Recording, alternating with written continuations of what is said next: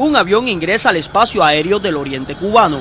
Santiago Torre, muy buenos días. Se activa entonces un complejo monitoreo donde controladores del tránsito aéreo instruyen a los pilotos que entran a su jurisdicción.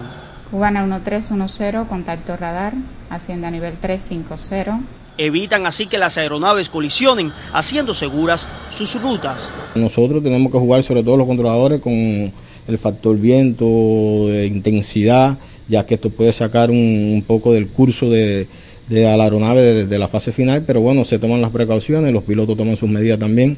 Cada 20 de octubre los controladores del tránsito aéreo celebran su día en conmemoración a un aniversario más del organismo que los aglutina a todos, la Federación Internacional de Asociaciones de Controladores Aéreos, fundada en 1961. Pero para el personal de aproximación y torre de control de Santiago de Cuba, cada día es motivo para celebrar porque acometen con pasión una de las profesiones más estresantes del mundo. De momento me puse a mirar para otra zona y lo vi pues que iba derecho para la tierra eh, y entonces tuve que preguntarle si tenía la pista a la vista y él me dijo que no. Entonces tuve que tomar una acción rápida de mandarlo al aire y, y mandarlo entonces con aproximación.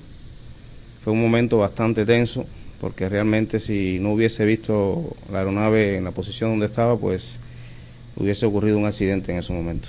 Ahora un moderno equipamiento tecnológico confeccionado por ECASA y apoyado por entidades como Retomet sirven en la torre para que el controlador mantenga supervisadas las condiciones de la pista hasta los detalles que para muchos resultarían insignificantes, pero muy perniciosos para la aviación. Tengo presencia de aves a la cabecera 28, al parecer están comiendo cangrejos.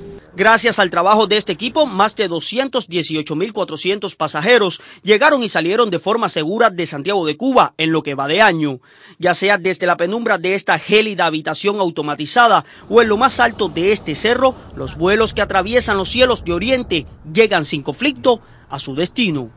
Dorellis Estiu Cantillo e Israel Hernández Planas, Sistema Informativo de la Televisión Cubana.